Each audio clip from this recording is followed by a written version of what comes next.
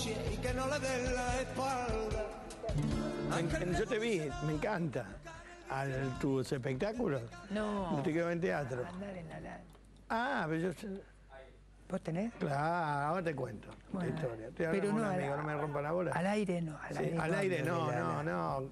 Estamos en el aire. Digo que estoy con mi amigo, yo no quiero hablar con ustedes, estoy con mi amigo. Porque yo aprendí a conocer en Radio 10 a un tipo que para mí de lo más gracioso que hay haciendo espectáculos, haciendo eventos, y, y de- y- pero además es un introvertido, te guacho. Sí, y, y es verdad. tan buena persona, No, tan buen compañero que da alegría verlo en los pasillos. Cuando yo estaba en Oriente, Nicaragua, nos cruzábamos porque él está con Beto, nos cruzábamos y vos qué esperás, que te haga un chiste y saque el papel picado del bolsillo. No, no, muy serio.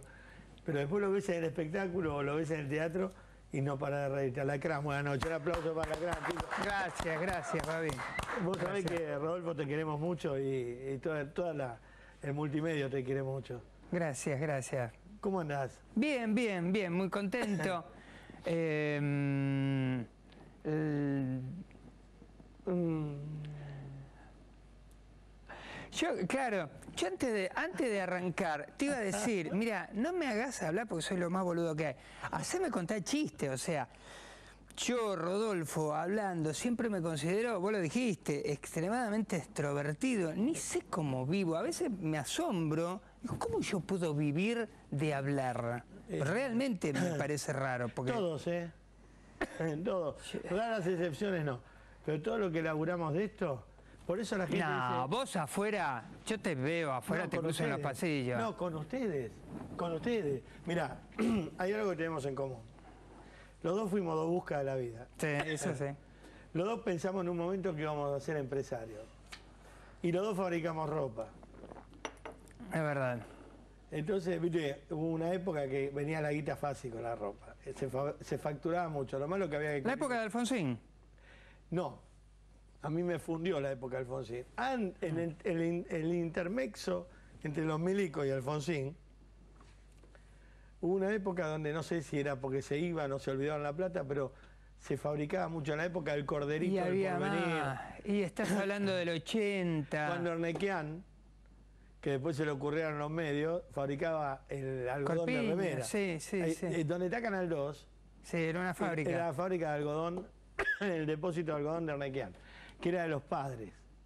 Yo lo iba a comprar ahí, fabricamos buzos, todo eso. Pero después había que cubrir los cheques. En la época de Alfonsín me fundí, vos también, seguro. No, yo en la década del 90 Con no, Menem. eh, no, no me llegué a fundir, pero me bajó mucho la venta. Y yo había entrado eh, justamente a laburar con Ernequian y me estaba yendo muy bien en Chachachá. Claro. En ese momento se pagaba bien los programas de Lo- tele. Pará, lo que pasa es que a, alguno nos fundió Alfonsín con el plan primavera y el plan austral. Y a vos te fundió Menem con la importación.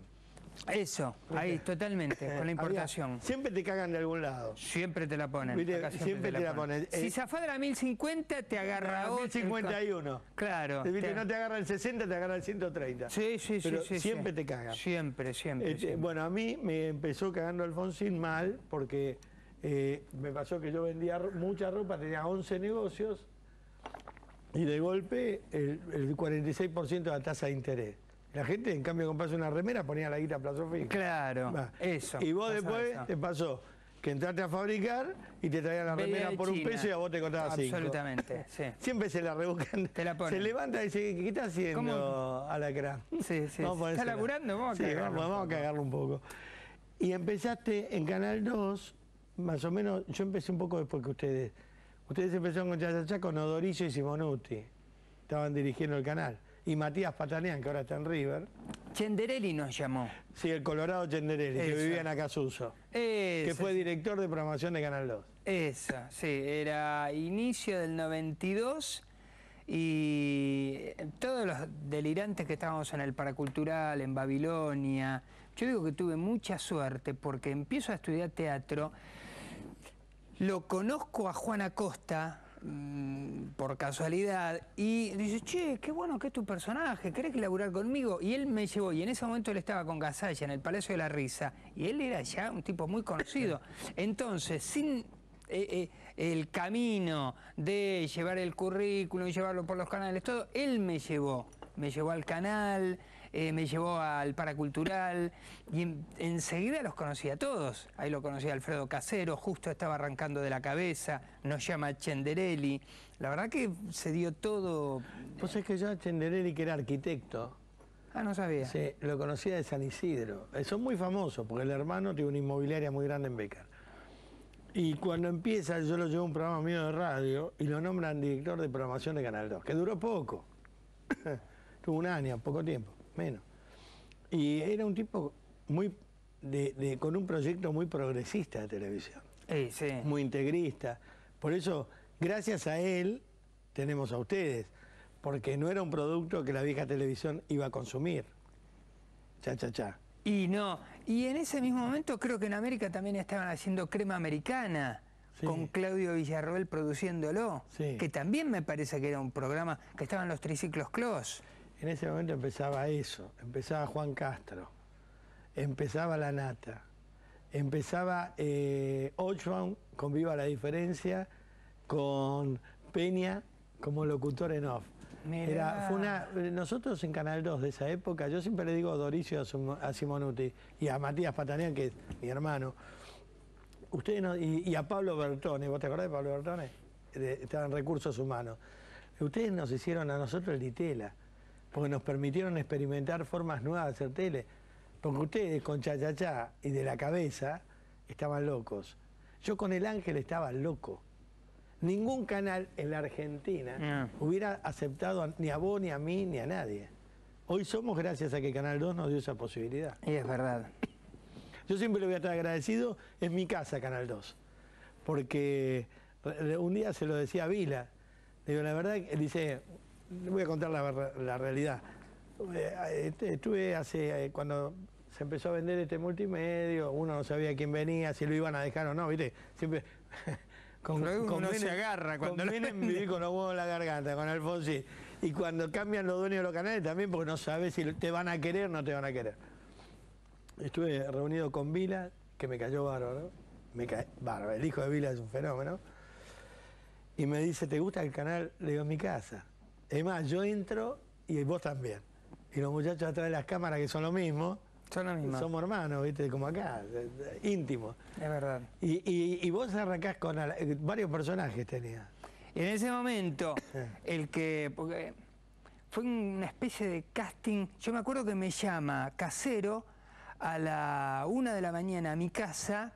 y Me dice, che, este, Alacrán, eh, ¿querés un programa, bla, bla? Eh, sí, dale. ¿Cuándo es? Dice, grabamos a las 4 de la mañana. Viste que cuando un programa No le es importa nuevo, no le importa a nadie. Te hacen ir a las 4. Claro. me, me estás haciendo una joda, Alfredo. Me dice, no, boludo, venite. Me vengo a las 4 de la mañana y efectivamente era una cola de delirantes y un director te decía, ponete, parate en esta raya y hacé frente a cámara lo que sepas hacer. ¿Era Tenderelli ese? No, en ese Ah, momento, no, sí, sí. alguien que estaba en el Sí, estudio. Y yo me acuerdo que hice Alacrán, y yo entré por Alacrán. Muchos quedaron afuera. Es más, en ese momento, que pocos lo saben, el que no quedó fue Capusotto. Ah, mirá vos. En el primer de la cabeza, es como que dijeron, no, no, no... No tiene feeling. Eh, algo pasa con este pibe, no nos gusta. Y Alfredo rompió las bolas eh, hasta que en el año 93 sí entró a de la cabeza. Eh, dice, ¿cómo lo van a dejar afuera a Capusotto? Pero en ese momento... Bueno, hubo- para los, lo que eran los directivos de los canales, ya era difícil digerirlos a ustedes. no, aparte Imagínate éramos, que es más difícil. éramos muchísimos, estaban locas como tu madre, estaba Petinato, estaba Araos, todos en el mismo, de la cabeza, estábamos todos. sí, me acuerdo. Era un programa, eh, no sé cuánto... qué Estaba de la cabeza, era una locura. Era un quilombo y este y en ese momento, bueno, y, y después, claro, ahora todo el mundo dice de la cabeza. En ese momento yo creo que medía 0,5 el rating de de la cabeza. Lo veía muy poquita gente. Era de culto. Claro. Bueno, vuelvo. Perdón por la tos. De la cabeza, cha cha cha, Sí. El Ángel, Juan Castro eh, y algún otro, éramos de culto. Porque éramos programas que ningún otro canal podía tener. No, yo y creo que había una pendejada que nos seguía, gente loca que nos seguía a nosotros. Yo supongo que perderían guita, que Arnequian la ponía para que estén esos programas en el aire. Eh, Fue un filántropo, fue un tipo que nos dio una mano. Mirá, qué bueno que lo nombremos Arnequian, porque hoy es un poderoso empresario. Y vos sabés una cosa, que cuando cumplió años, no sé, me vinieron a grabar, dice, ¿querés saludarlo? Porque fuiste de los primeros que estuvo. Y yo decía que muchas gracias, porque sin Patanián, sin Arnequian, que hoy Pa- Patanián es la mano derecha en los aeropuertos, sin Simonuti, sin Alfredo Dorillo, yo hubiera muerto en un canal de cable cuando no tenía más guita para los canjes y también.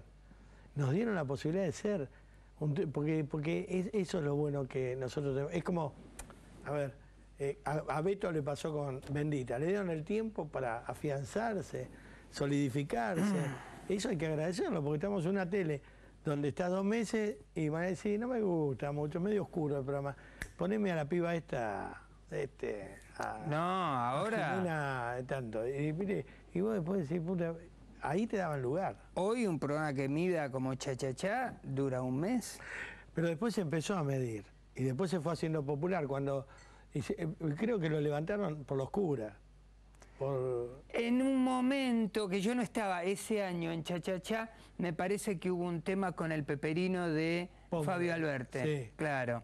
Que mm, hacía como la parodia, se ponía la cosita de. de si hubiera cura. estado este papá, lo felicitaba. Pero Se en esa época eran caretas. Francisco. Claro, pero ahora lo sacaron. Yo me acuerdo que tuvieron un quilombo, que lo prohibieron el sketch, lo levantaron. Una porquería, porque no hacía nada el tipo. No, no, si hay algo que no hacía era hablar mal, era un delirio, pero nunca no metía sexo, era humor, Era puro mu- es humor. muy cómico. Era muy bizarro. Che, y escuchame una cosa, pero vos cuando fabricabas ropa, ¿ya pensabas que ibas a ser actor cómico? No, no, no. Pasó algo eh, bastante curioso que fue así. Yo de pibe sabía que no quería hacer nada que tenga que ver con el estudio. Yo termino la primaria, empiezo la secundaria, no sabía qué iba a hacer.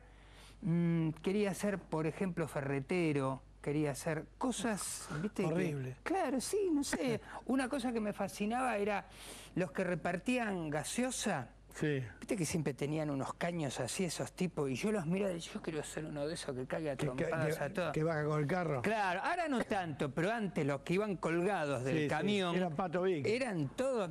Yo decía, ese laburo me gustaría hacer. Ese, Qué pibe raro, ¿no? Era un pibe raro. Otra cosa que me gustaba era cuando veía esos documentales de los que iban al África a, a estudiar la- las piedras, lo- ¿cómo son los antropólogos? Ah, que, que- donde el Eh, primer hombre que pisó ese, acá. los que estudian los tiburones. Un loco. O sea, y sí. ¿Y ¿Vos eras único hermano? ¿Único no, hijo? tengo uno, ¿Un tengo uno macho, pero a ninguno de los dos nos gustaba estudiar. Pero tu viejo, ¿cómo te criaron? Porque para llegar a ser así, No, la verdad, te, puedo hablar muchas cosas a favor de mis viejos.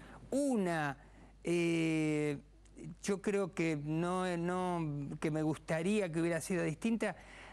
Estábamos muy desatendidos. Ah. O sea, nos nunca nos trataron mal, pero estaban en otra mis viejos. ¿Qué hacían? Nosotros, eh, mi vieja enfermera y mi viejo relojero. ah, Pero, por ejemplo, yo a los nueve años me iba de campamento a Mendoza 20 días con un maestro bufarrón, totalmente bufarrón declarado, donde íbamos 15 pibes eh, con peligro de volver con el orto hecho trizas.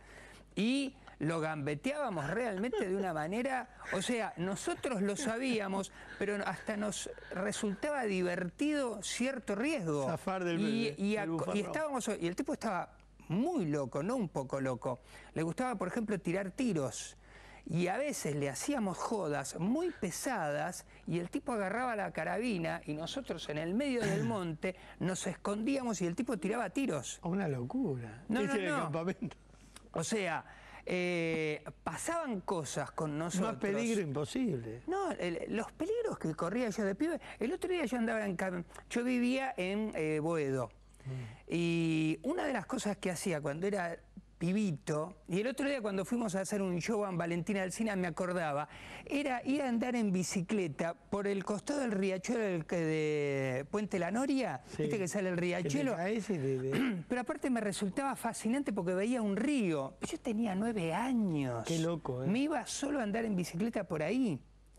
Y, por ejemplo, me gustaba eh, juntar diarios, revistas, venderlas. Las iba a vender a un galpón que quedaba justamente en Pompeya. Entonces juntaba cientos de kilos de diario, me había hecho un carro y me iba a venderlo. Después ya empecé choreando plomo. ¿Viste los, los baldíos? sí. Entonces entrábamos con los pibes, se usaba mucho que tiraban una casa abajo y quedaba todo claro. La- la vos ibas a la canilla, ¡tran! de la Iba levantando. cagándote de risa, todo eso enroscado, iba al galpón, lo vendíamos porque... Pero no sé por qué venía esto. Ah, sé que no quería ser médico, no quería ser abogado, no quería hacer nada de eso. Y yo le decía, mamá, yo quiero laburar, no quiero estudiar. Y me decía, por favor, te lo pido. El día de mañana yo sé lo que gano yo y sé lo que gana un médico que hace tres horas y gana seis veces más de lo que gano yo haciendo, mi vieja era de las que hacían el turno noche, el turno mañana, y a veces pegaba dos días enteros sin dormir y decía, yo sé la diferencia de tener un título o no tenerlo. Lo único que te pido, termina el secundario. Me rompió los huevos. Termino el secundario y al otro día empecé a trabajar en una verdulería. Como decir, me rompiste las bolas para que Ya, ya, estudie. ahora me voy a entro laburar. de peón de verdulero.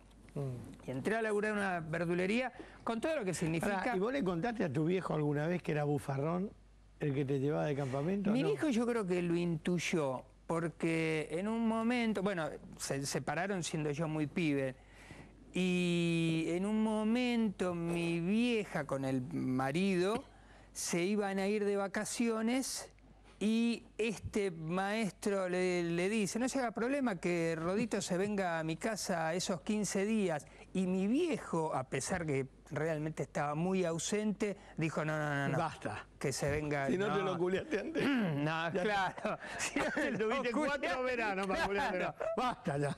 O te casás. O te, ca- o te casás o me lo devolvés. Y este. Así que yo pienso que mi viejo, más que mi vieja, se, se, se lo Ahora, se la vio venir. relojero. Mi viejo relojero. Relojero, si algo hacía bien mi viejo, era arreglar relojes. Mi viejo le llevaban colegas de él. Obviamente estamos hablando de relojes mecánicos. Obvio. Eh, colegas de él le decía, eh, che, este Girape regó. No sé, no, no, no. Porque lo peor es cuando el reloj está andando, pero se para de vez en cuando, porque el relojero te dice, si no se para delante mío, no puedo saber qué tiene.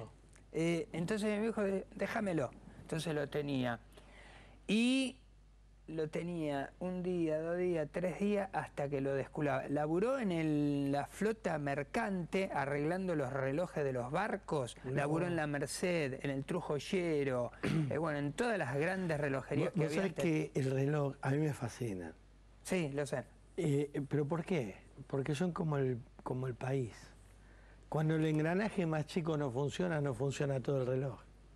Vos podés tener un paté Philip, pero si no funciona el engranaje más chico, No, no, no, no. el reloj es, un es inútil. Es como un país. Cuando el más pobre no cobra, el país no se mueve. Es exactamente lo mismo. Y amo el reloj y los mecanismos. Yo no puedo comprender, de hecho uso relojes viejos, ¿acuerda? Ah, Yo no puedo entender cómo funciona todo esto y me da la hora exacta. Me parece una genialidad. La relojería es, es un arte. Bueno, yo que nací y crecí viendo a mi viejo en un placarcito, porque en un departamento de dos ambientes, y él, que tuvo muchas oportunidades de progresar, una vez estaba, no vamos a decir cuál, pero estaba por entrar a una gran relojería de ese momento, y el jefe de taller le dice, este, mira, yo te puedo dar los mejores relojes, es nada más que una limpieza. La mayoría de veces el reloj Sí, se para porque está y le sucio. cobramos todo un servicio. Exactamente. Y este, el 10% es para mí. ¿Qué me estás diciendo?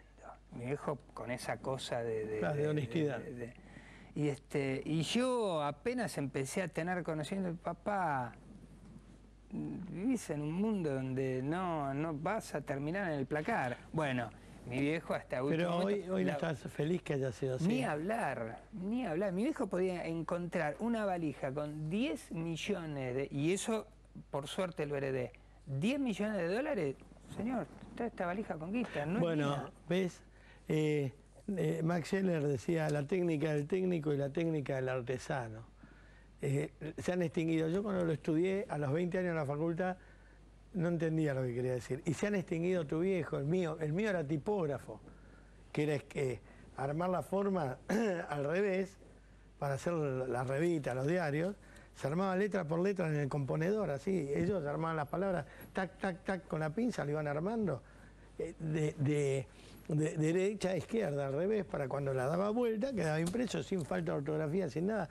Era un artesano, un tipógrafo era un artesano. Y era muy honesto, papá también. La macana que yo muy pronto me di cuenta que no me gustaba lo que hacía mi papá, o sea, pasé, mi viejo se separa de mi mamá y yo iba a la relojería de mi viejo, lo ayudaba, limpiaba, le limpiaba los vidrios, pero me aburría terrible. aburrido. Me aburría, y yo me veía y el áncora, y el eje, y el espiral, y lo miraba y trataba de que me guste, pero me embolaba. Lo que pasa es que el relojero, Waldo Martínez era un gran relojero. Waldo Martínez era un excelente relojero, el actor. Eh, el relojero tiene una vida, debe ser un enfermo. Porque el tipo está con eso acá, No te, no te digo, en el así. placar, mi viejo, donde la gente guarda la ropa, él abría la puerta, tenía la mesa ahí, se, se sentaba en, en ese cajón oscuro y pasaba 14 horas por día. claro. Mi viejo, decir, si yo soy introvertido, al lado de él soy La Enrique Minelli, Pinti. sí. Mi viejo era una cosa que no se podía creer. Si eh, a él le gustaba mucho, por ejemplo, ir a tomar un cafecito a un bar. Bueno, lo ibas a encontrar en la última mesa mirando a la pared. Así era mi viejo. Era realmente un caso... eh, Especial. Sí, especial. Pero por otro lado tenía esas cosas. Tenía La- las virtudes. las virtudes, sagrado con lo que no era de él, con lo que no era lo correcto. Vos sabés que la limpieza de un reloj se hacía con una pera mínima de enema, de esas peritas de enema, chiquita, eh, y ya estaba limpio, un poquito de aceite de máquina, y ya era la limpieza del reloj. Yo me acuerdo verlo, desarmarlo totalmente, y, ha- y había como, como una jaulita así, Sí. como si fuera de tejido, entonces estaban todas las capsulitas, y ahí ponía los ejes, las áncoras, los espirales, la rueda, ta, ta, ta, ta, ta, eso lo tapaba. Y lo metía en una cosa que tenía cuatro frascos de benzina. Entonces lo metía acá. no, como porque si lo fuera- limpiaba en serio. Ni hablar.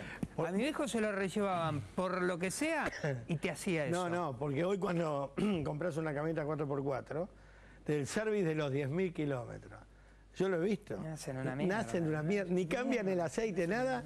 Son 6.000 pesos. Cambio de aceite, filtro, esto y otro. Los relojeros, déjamelo que te haga un service. ¿Viste? Le sacan el- el- el- la sierra y te lo dan. Eh, antes era Hidalgo, un relojero que estaba cerca de casa, eh, porque viste que los personajes antiguos son fantasmas maravillosos, como tu papá. Este Hidalgo andaba con tiradores y pantalón hasta acá arriba y se paraba así con tres dedos. Tenía joyería y relojería. Y siempre había un pecho hecho así de, como de terciopelo, con una, una cadenita, con una, con una boludez acá, en vidriera, que era la joya que tenía para vender. Mirá vos al lado de hoy, ¿no? De, de- lo que son las joyerías. Y compraba el barrio, entonces te daba pagar para los 15 de la nena, te daba a pagar hasta que la nena se casaba. Cuando se casaba le comprabas las alianzas al mismo. Era como un personaje de culto en el barrio, porque el oro era él, la, la riqueza era él. El que te daba las joyas era él. Todo, andalo de Hidalgo, que te arregla el anillo, te lo achica, te lo agranda, el relojero. Eran maravillosos esos personajes. Y vos fíjate, vos querías ser ferretero y tiene mucho que ver con relojero. Y entonces digo, bueno, no, relojero no. Eh, vamos a ver por el lado de mi vieja. Voy a la facultad de medicina, pero digo, tal vez tengo un médico adentro, no me doy cuenta. Y me acuerdo que en ese momento fui a la facultad de La Plata. Quilombo. Porque no había ingreso.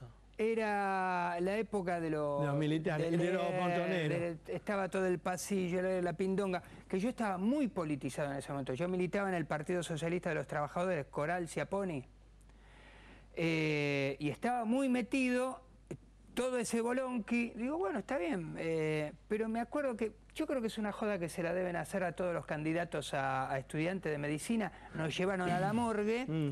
y nos hicieron la joda de, este, mm, de mostrarnos pedazos de... Ah, no, pero te lo hacen a propósito. Yo creo que te lo hacen a... po- Me acuerdo No, que lo no, vi. te lo- yo estudié medicina, tenemos una vida muy parecida. Y digo, no, se va a la mierda, esto no es para mí. Me da cuenta que se me aflojaban las piernas, me fui a la Ah, había, mierda. había como unos piletones con formol y te hacían sacar un Claro, pulmón. claro. Pero lo que más me molestó es que se burlaban de los... Sí. de Eso decía, eh, che, ¿qué te pasa? Estás un poco pálido.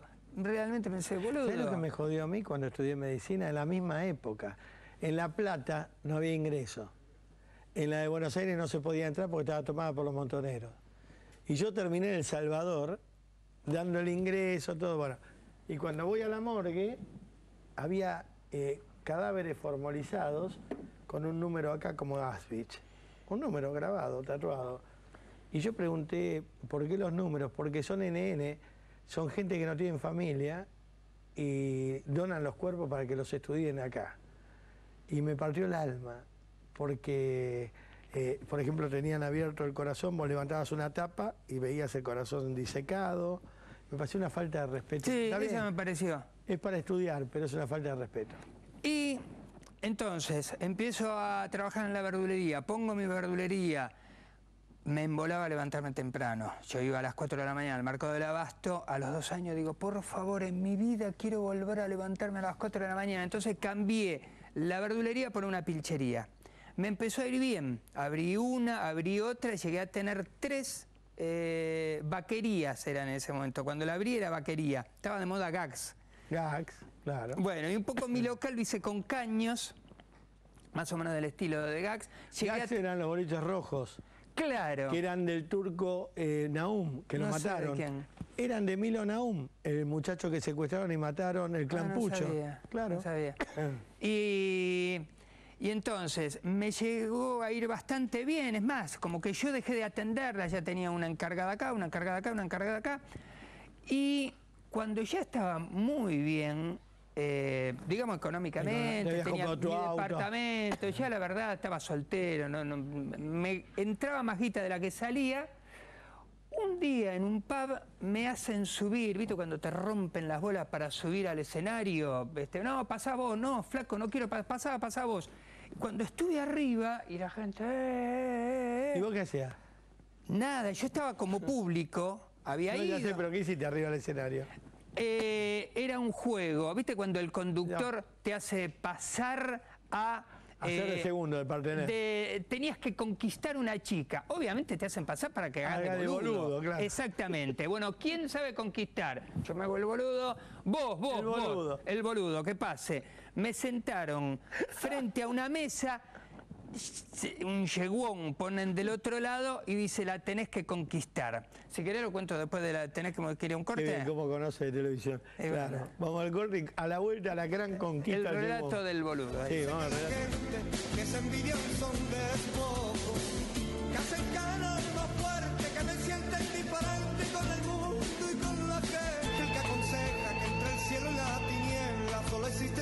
la hembra conciencia. esta infernal. Ah, bueno. Entonces, eh, El bueno, show. vos, Rodolfo, tenés que conquistar a esta señorita. Si yo, vos me conocés, no puedo hilvanar tres palabras seguidas, frente a un pub con 300 personas, la minita ahí la tenía que conquistar en dos minutos. Cuando le quise decir, hola, ¿cómo estás? Furcié. Ya en el hola, ¿cómo estás? Todo, ja, ja, ja, ja, ja, ja. Ay, me transpiraba el la- la- el bajón que me agarró. Pero, claro, me pasó algo que después iba a reconocer que era que tenía el actor adentro. En medio de esos nervios, en vez de decirme, flaco, me voy a sentar, yo no soy para esto, empecé, bueno, mañana es el día de la primavera. En vez de ir por el lado, te invito a dar una vuelta, porque nos hicieron pasar a tres y los otros tres eran ganadores. Te Eh. invito a dar una vuelta en mi. Yo te invito a un picnic. ¿Qué? Dice la mía. Ja, ja, ja. O sea, todo lo que decía Ahí- ahí te po- se burlaban y se reían. Y yo, ron, ron, ron, y bla, y te llevo a tal lado y vamos a hacer un picnic. No sé cuánto duró, un minuto, dos minutos, tres minutos. Destrozado, sudado, hecho mierda. Aplauso para tal, que era el habitué del pub. Bien. Aplauso para tal y aplauso para Rodolfo. ¡Buah! ¡Bravo, bravo, bravo! Ah, al otro día, me acuerdo, estaba tan excitado de, de estar frente a la gente. la de- hacía años Que buscabas no ese aplauso. ese- esa cosa, esa adrenalina. Y no- eh, estaba la revista Humor en ese Sí. momento. Estoy leyendo la Humor, curso de teatro Jorge Delía. Lo llamo, hola Jorge. Le digo, mira, acá leo tu aviso, te digo, yo no soy un pibe, yo estando seguro que el curso de teatro es para un pibe de 17, en realidad es para un pibe de 17. Eh, digo, yo tengo bastante más de 17. Me dice, no, no, claro. Este, Vení. Vení, Pagá. cuota. Y este, fui, yo quería ser actor serio en ese momento, yo quería ser un lupi, qué sé yo. Claro. Y De se carácter. de risa. Sí, pasaba, jo, jo, y la concha, ahí, pasaba, y lo voy a ver a Augusto Fernández. Le digo, mira, tengo un problema. Paso, me acuerdo que fui a un, casting en San Isidro, mirá qué casualidad. Pedían un gaucho no sé cuánto, y estaba con un teatro, con el director y varios, y dice, mira, vos tenés que patear la puerta y decir, soy el gaucho no sé qué, y te vengo a churar. Entonces dice, a ver, ta, soy el gaucho no sé cuánto, y te vengo a churar. A ver de nuevo. Yo digo, uy, le está gustando. Lo repito tres veces, me lleva aparte y dice, mira, a mí me encanta, pero tengo un problema. Se están cagando de risa todavía. Y lo voy a ver a Augusto Fernández. Digo, mira, tengo un problema, quiero actuar serio, improviso. Además, mi profesor de teatro me dice, vos te lo tomás esto en joda, se ríen. Yo lloro porque la improvisación me la toma en serio y se ríe. Y me acuerdo que Augusto Fernández, bien, te- hago un seminario de tres meses y me dice, eh, dedícate al humor tranquilo porque es lo tuyo. Y ahí un poco se juntó mi espíritu comerciante de Sí. salir a vender ropa. No tomar voy a hacer lo que no me sirva. No voy a hacer. Entonces junté la actuación con el humor.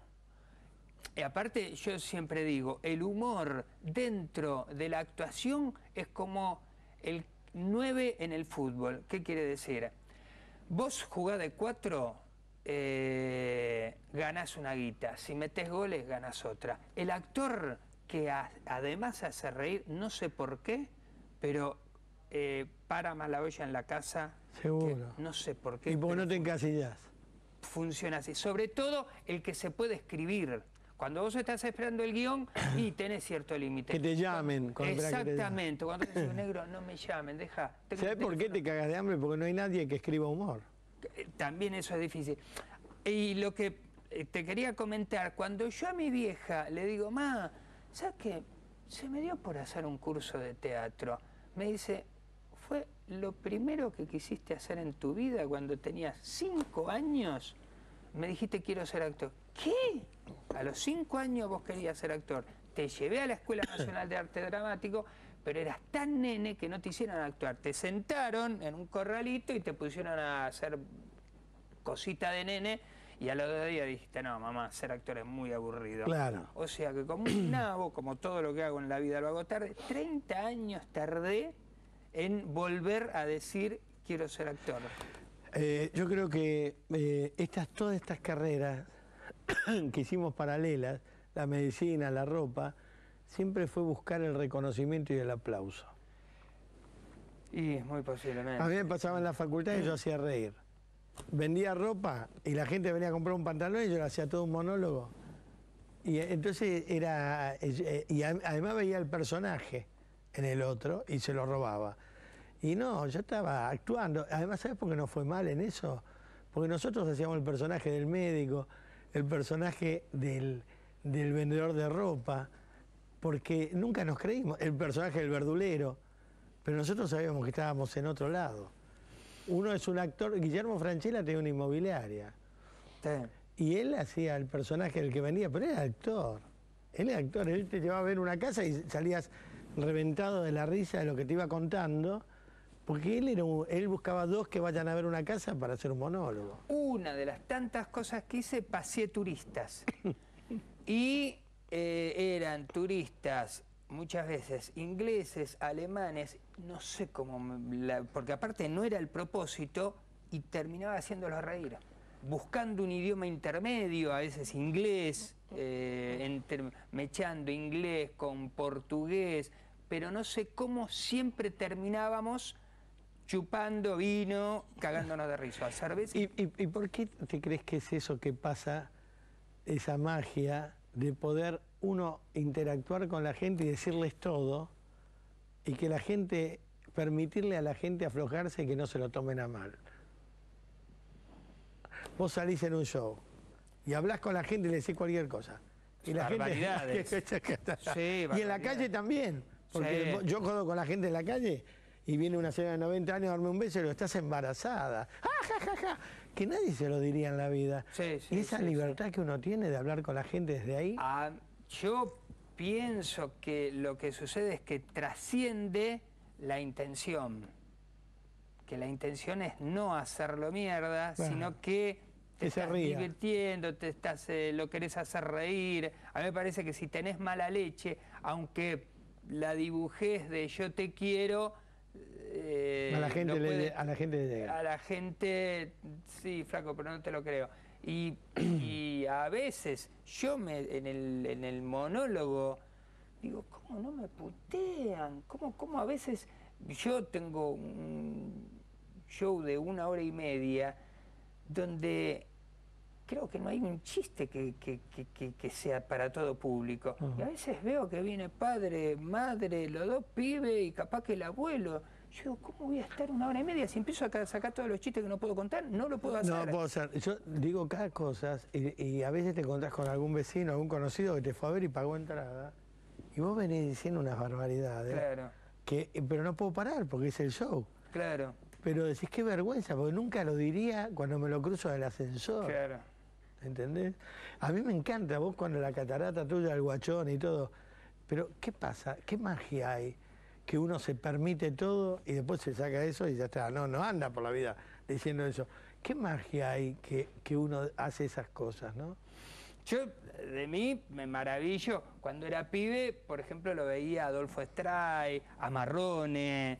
Yo decía, qué maravilla, estos tipos que tienen ese, ese bonus de poder putear. Qué maravilla que la gente, mis viejos No se lo iban tomen y a, no le pagaban. un cachetazo. Claro, iban y pagaban para verlo y el tipo en ese momento decía culo, decía cosas que... Que era durísimo, que era durísimo. Y a mí me maravillaba. Y, y sí, ahora realmente eh, disfruto esa posibilidad Esa de impunidad. Sí, sí, yo la disfruto. Sentarme y este y, y- y arrancar. eh, yo siempre arranco suave, siempre. Pero ya arranco poner haciendo mierda a mi esposa, me encanta, Claro. disfruta mucho. claro, lo, que la gente disfruta es eso. Sí, sí, qué horrible. Si supieran ustedes qué horrible que es mi mujer. Sí, ay, claro. Y yo, ja, ja, ja, ja, ja, se empiezan a reír, se, empieza, se la empiezan a imaginar. Además, vos viste que eh, todos tienen una mujer horrible, todos tienen un marido gordo y que con eyaculador precoz. Sí, sí, y que, los huevos largos. Los huevos lar- Todos tienen los mismos problemas en el teatro. sí, sí, O- sí, y si no los tenían, se los haces ver Claro. a partir de ese momento. Yo el otro día iba en el auto y iba pensando, James Bond tenía licencia para matar.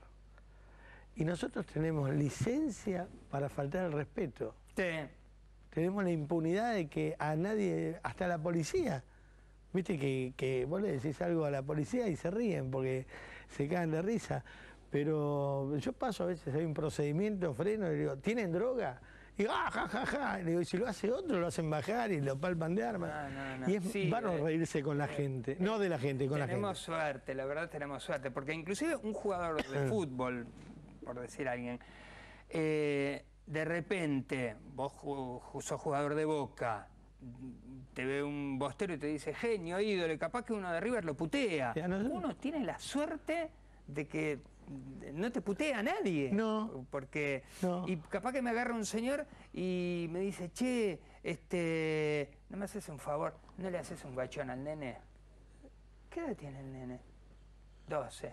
Es un nene. Tiene que hacer un guachón para el nene. Se fascina, se fascina. Putealo tranquilo. putea- Me pide que lo putee al nene. Bueno, pues es cuando yo hacía el ángel en una época, paraban a los autos en los semáforos. Ángel, puteame, por favor. Claro, puteame". Digo, "Pero ¿Estás claro. loco? ¿Cómo te voy a putear? Le digo, Claro. yo, yo cobro para putear. No, pero puteame, puteame, por favor, una puteada, una puteada. Eso, sí. Y tuviste la suerte, vamos a reconocerla, porque además es compañera mía de, laburo. Desde una mujer al lado que, que, que te acompaña mucho y, y te va a dar la fecha donde vas a estar. Sí, le debe picar el orto porque dice, este boludo no va a vender la fecha, Sí, no, va a vender la fecha. Ella la que ella- viste, porque a uno no le Se la importa. lleva ella. Claro, a uno no le importa la Se guita. la gasta en pilcha. Toda, mirá cómo está, todo bisón. No hay que matar animales. ¿Dónde vas a estar? Voy a estar el sábado que viene en Campana, en el Teatro La Rosa. Qué lindo. Bien, sí. Muy buena gente. Divina, la verdad que estoy muy contento de ir a Campana, Campana. el sábado. Y el 29 de agosto en La Trastienda. Bien. Muy bien, en la trastienda. Sí. 29 de agosto en la trastienda. Ya se pueden sacar las entradas. Ya se pueden sacar. sí. Va, este, el Teatro La Rosa de Campana no es un teatro grande. Saque las entradas ahora para no quedarse sin entradas. Bien.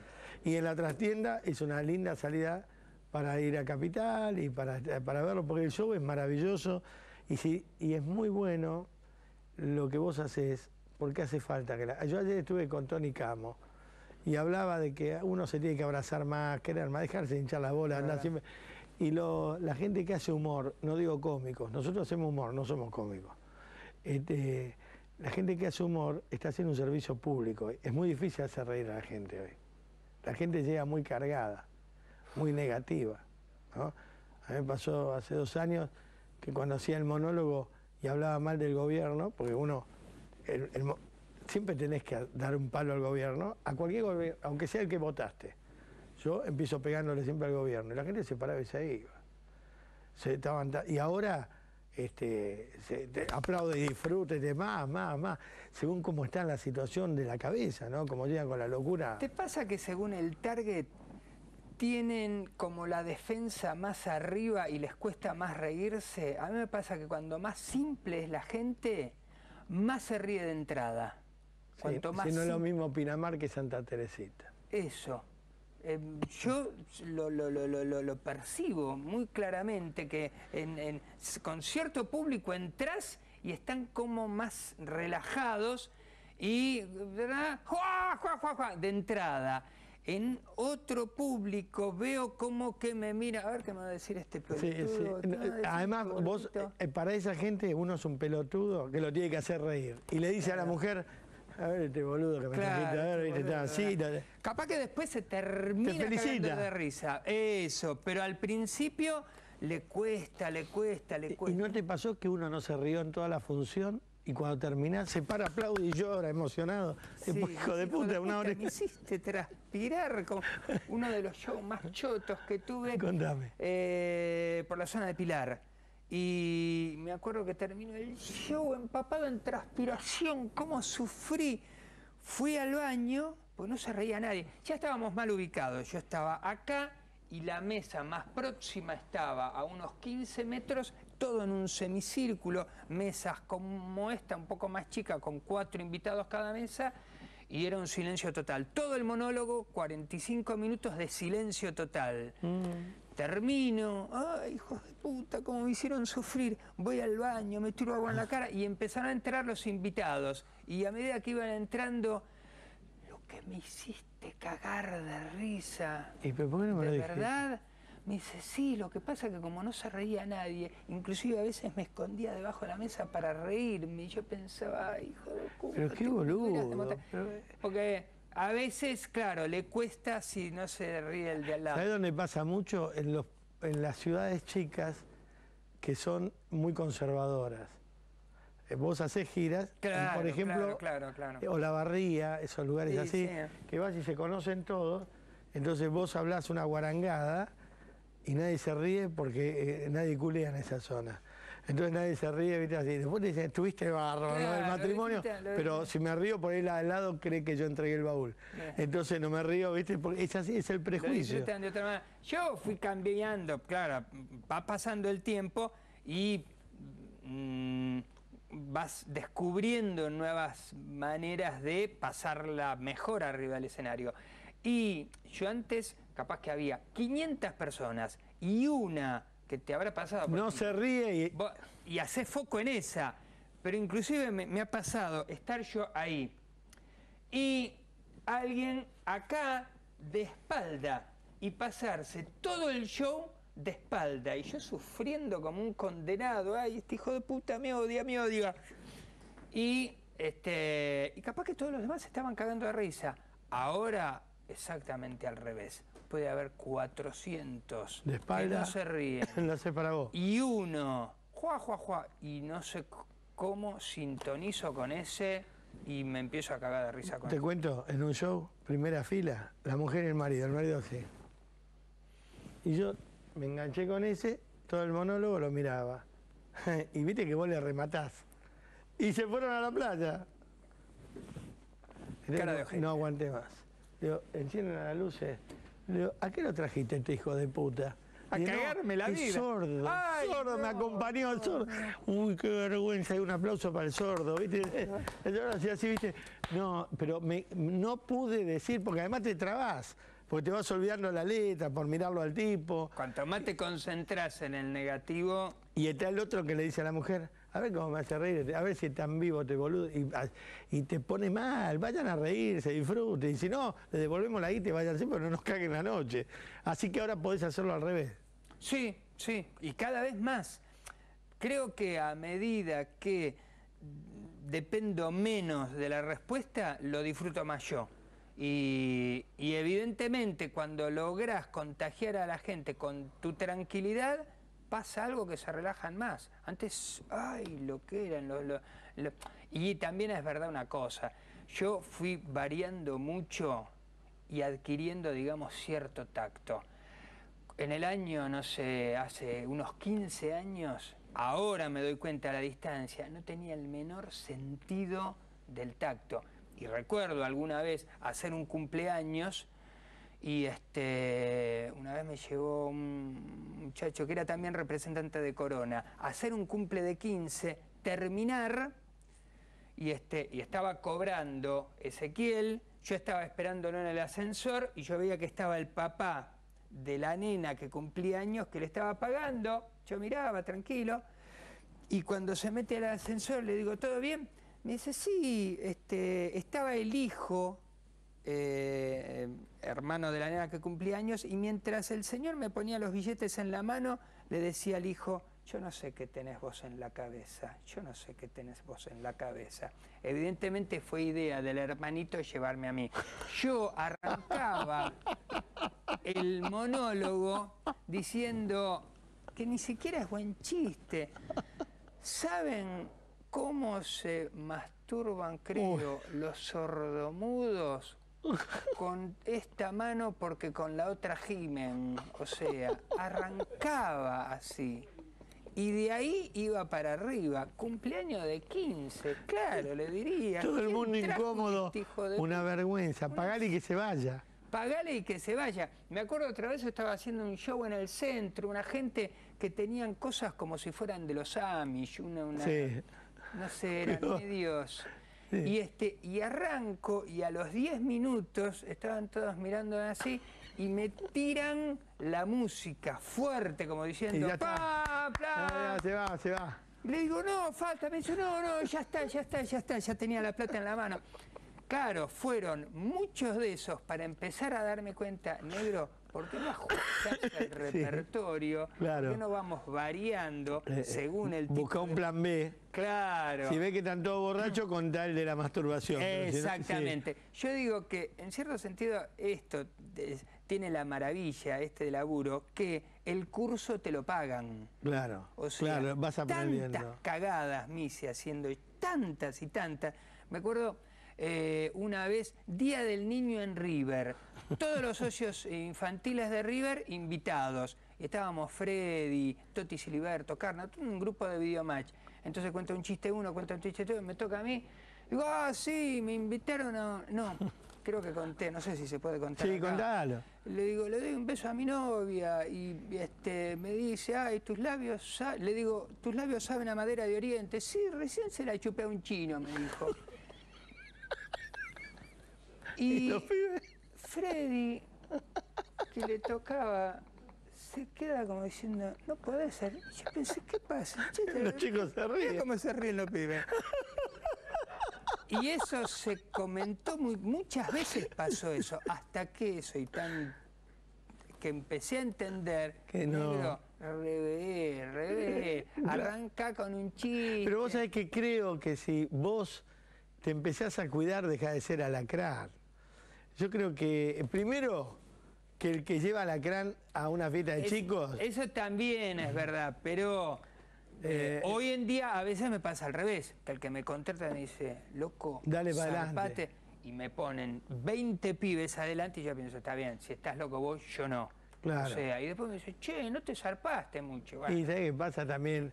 Hoy los pibes con la computadora, Sí, vos sos sí. Heidi. Eso es verdad, La- sí. escucha- A mí a veces me dicen en la radio, yo puteo en la radio, me dicen, hay chicos escuchando, sí, pero el chico si lo sacás de la radio y lo metes en internet, ve a un flaco culeándose una gallina. Entonces, dejalo escuchar radio, que yo diga culear y que no vea a un, a un zófilo. Entonces, porque la realidad es esa, nosotros somos naif. ¿Qué puedo decir? Porque además, la mala palabra, o la palabra o eso, esto, es, es, eh, la gratificación. Vos no podés hacer un postre sin una frutilla, ¿viste? Yo trato de que el chiste tenga el color de un dibujito animado, no una cosa erótico porno. ¿Me, me explico? No, No, que venga no, por el lado del erotismo del porno. No. De que sean, por eso justamente hablo a veces de un miembro de cuatro metros. Cuando cuento, digo, desenrolló una manguera que al caer hizo un Claro, cráter una nutria. ¿viste? Me causa más gracia una corvina negra de 20 kilos que decir un miembro viril, que de hecho no me causa gracia. Que, que, mirá, es mejor decir culo que ano. Claro. ¿Entendés? Hay palabras que para mí no son graciosas. No, son- soeces. Eso, claro. ¿Entendés? Vos, vos decís, el tipo tenía un envase de Coca-Cola, Eso. queda mejor que decir Eso. tenía un miembro viril de este tamaño, queda horrible. Eso, claro. ¿Entendés? Eh, eso. eh, eh, eh, además es de, es de jeropa. ¿Viste? Claro. Son esas viejas que se salía a bailar con un muchacho que tenía- Yo prefiero el dibujito animado, el tipo que se tira un pedo y del culo le sale el blog de un torino. O sea, eh, eh, eh, ese tipo de figura que iba caminando, iba, iba arrastrando, iba dejando un surco como si orara en la tierra. Eh, eh, A Claro. mí me divierte más. A mí también, a mí también. Y me parece que a la gente también. Por eso el éxito. ¿A dónde se lo puede ver en la trastienda? El 29 en la trastienda Y y, el- en Campana, los amigos de Campana, este Eso. sábado. Y el sábado que viene en Campana. En Campana, todo el Sí. mundo va a ver. Y después seguís la gira. Sí, ¿qué? qué? ¿Qué querés? Ella quiere que venda acá, bueno, ¿Qué sí, quiere los amigos de Caracruz, Leandro y Juan Manuel, que la verdad que nos eh, asisten en el teatro, en- me dan la pilcha y se portan muy bien. Gente muy piola. la Y le mandamos un beso a Oscar Gómez Salé y al papá que nos están mirando. Y, ay, si está la gran me quedo, dijo el viejo. Así que este, te queremos mucho. Sos un gran compañero, sos Gracias. un gran tipo y, y un humorista de puta madre. Así que gracias por haber venido. Mirá lo que te. Ah, y el programa va a estar ahora los sábados y domingos. ¿Cuándo están con los chicos? Sin codificar los domingos de 2 de la tarde a 6 de la tarde. Hay que verlo porque es un programa. Es, un ver- es humor puro. Gracias, un aplauso. Gracias a vos.